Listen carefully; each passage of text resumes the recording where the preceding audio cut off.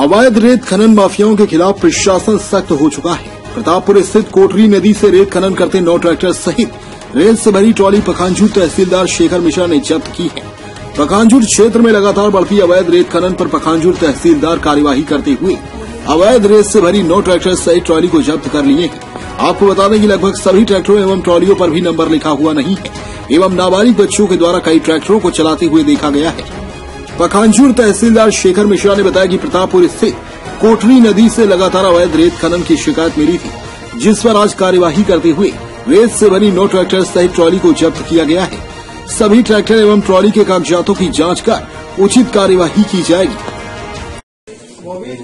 Sir रेत माफियाओं पर प्रशासन के द्वारा बड़ी कार्रवाई की है। क्या जानकारी सर? ऐसी कार्रवाई चलती रहती है।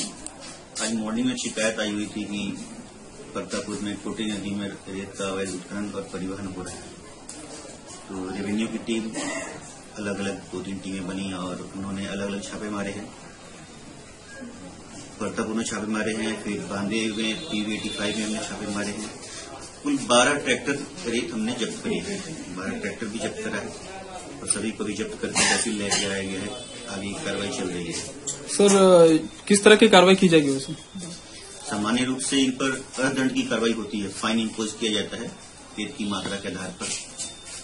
लेकिन यदि ये साबित हो जाता है कि ये बार बार एक ही ऑफेंस की पुनरावृत्ति कर रहे हैं तो राय साहब की भी कार्रवाई संभव है।